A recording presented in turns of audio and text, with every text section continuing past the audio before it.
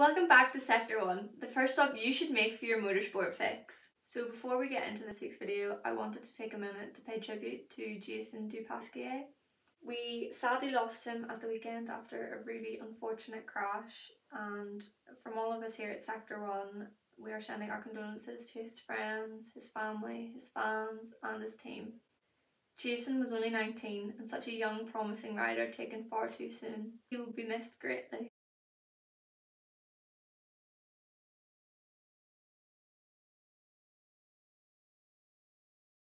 So this week we were at Mugello for round six of the MotoGP Championship. Many hold Mugello in the same regards as to what F1 fans hold Monaco. It's such a historic track. People and riders, it, it's their favourite track. People love going to Mugello. It is one of the most favourite tracks on the calendar and you can see why the Tuscan hills, the flowing of the track. It's just the most picturesque track there is on the MotoGP calendar, and you can see why everyone looks forward to going to it every year.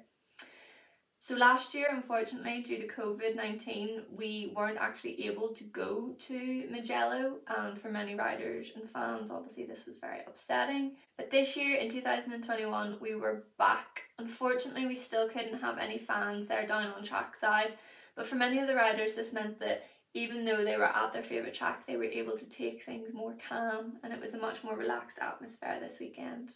So in this week's last lap with Lauryn, like I said, we are in Mugello and we're going to start off with qualifying. Fabio Quartararo managed to take pole on Saturday, which was definitely not in the script. It is Ducati's home circuit and everyone thought that Ducati was just going to clean up all around them. We really thought that they were going to be dominant this weekend, but Unfortunately, that was not the case. The Yamaha proved to be the bike. In second was Pecco Bagnaia, who all weekend had been strong. He even set the fastest lap on Saturday free practice 3 and that was before Fabio went out and broke the record again. Finishing the front row was Johann Zarco, a fellow Frenchman, on the Pramac Ducati. So at this point we feel like Ducati is very strong. In fourth was Aleix Espargaro on the Aprilia, in fifth was the other Ducati of Jack Miller.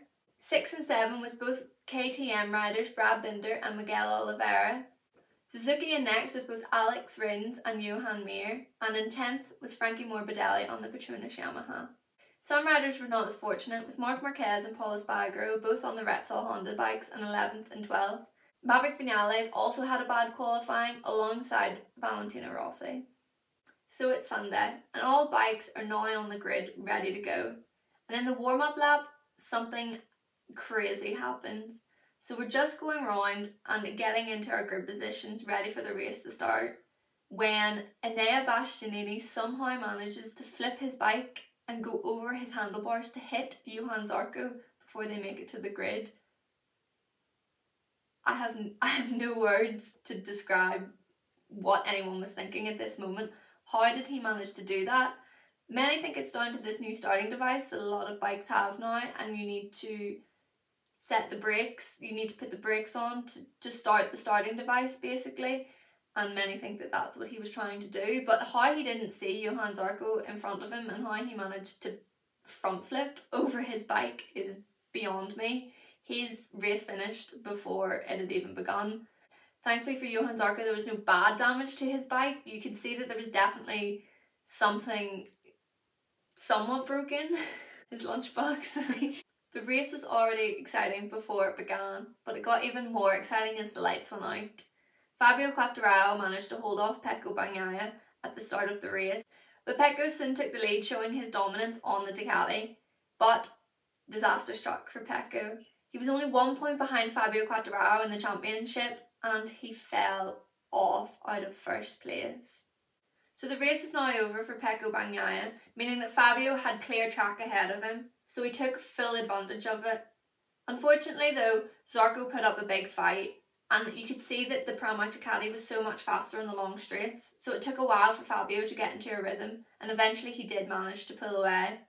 Zarco then was battling in second place with the Portuguese Miguel Oliveira on the KTM, it was a bit strange to see KTM up here, considering they've had so many problems this year so far, but it was actually nice to see the likes of Miguel Oliveira and Brad Binder up at the front fighting.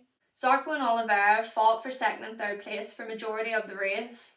Further down the order was Jack Miller, who was being hunted down by both Suzuki bikes. Alex Rins and Joan Mir looked very, very strong, and they were chopping and changing places to try and get ahead of Jack Miller. Eventually, Alex Rins made the move, and he actually made it stick. He was fighting hard, he was moving up, and Joan Mir didn't wait long to go behind him. Now in front of Jack, the target in front was both Zarco and Oliveira. Rins was pushing hard, and this forced an error from him, meaning that for the fourth week in a row, he fell off. It was mentioned in last week's last lap with Lauryn that something really needs to be done down at the Suzuki garage. But from Joan Mir's performance, you can see that he really put his head down this weekend. And initially, you could see that Alex Rins has also done a lot of work. But why is he continuing to fall off? Why can he not put in a consistent race? These are the questions that are going to need to be answered. The next crash of the race came from none other than Marc Marquez. Another crash for the eight time world champion. Marc himself said that it was his fault and he was trying to fight to gain positions. During his crash, he almost took out Petronas Yamaha's Frankie Morbidelli, and for the second week in a row, Frankie Morbidelli had to dodge a Repsol Honda to try and stay on track. This put Frankie all the way to the back of the grid, then having to fight up the places to even try and get some points, which unfortunately didn't work out for him. At this point in the race, Fabio Quartararo was ahead by about two seconds, but Johann Zarco looked strong behind. Oliveira looked even stronger, and Joan Mir again looked stronger. Zarco started slipping back the order. You could tell that something wasn't just quite right. His tyres definitely had to be gone. Miguel Oliveira took full advantage of this and passed Zarco with ease. Next up was Joan Mir. He fought to close the gap and it worked for him, and he also passed Johann Zarco. In the end, no one was able to catch up to Fabio. He was able to keep a comfortable lead the whole way through the race. He finished in first place, with Miguel Oliveira taking second and Joan Mir finishing the podium. But after the race, there was some confusion. This was because there was a track limits warning given to Miguel Oliveira, meaning that he had to be demoted one place. So the podium then stood at Fabio Quartararo, Joan Mir, and Miguel Oliveira. But within five minutes of the race finishing, they changed it back because they determined that Joan Mir had also exceeded track limits. Now, in my mind, that means that they both should have been demoted a place and that Johann Zarco should have had a place on the podium. But rules are rules, I suppose. So the top 10 this week were Fabio Quartararo, Miguel Oliveira and Joan Mir making up the podium. In fourth was Johann Zarco and in fifth was Brad Binder. In sixth we seen Jack Miller and in seventh was Aleix Espargaro. In eighth somehow Maverick Vinales was all the way back there. Ninth was Danilo Petrucci and in tenth we finally saw Valentino Rossi put in a strong performance on the Petronas Yamaha after struggling all year long. It was nice to see the doctor return to some sort of form. So now it's time to pick out my top three riders of the weekend. Now, coming in at first, it has to be Fabio Quartararo. He had a very, very strong weekend from start to finish.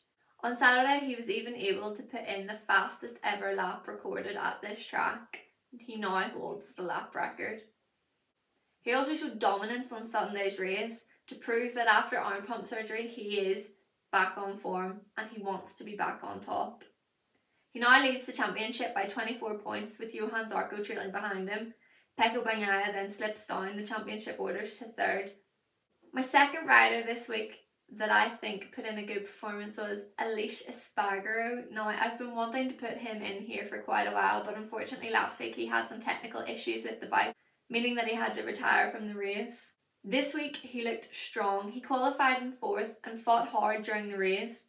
He finished in seventh and was able to bag a lot of well earned points, which stands well for him in the championship order.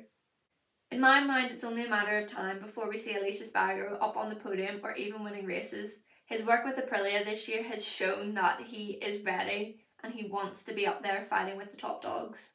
My third rider for this week is none other than Miguel Oliveira. He showed a real return to form this weekend and looked strong throughout. KTM themselves also look to have made a big step up, so hopefully we will see Miguel higher up in the order in the races to come. So that's it for this week's Last Lap with Lauryn.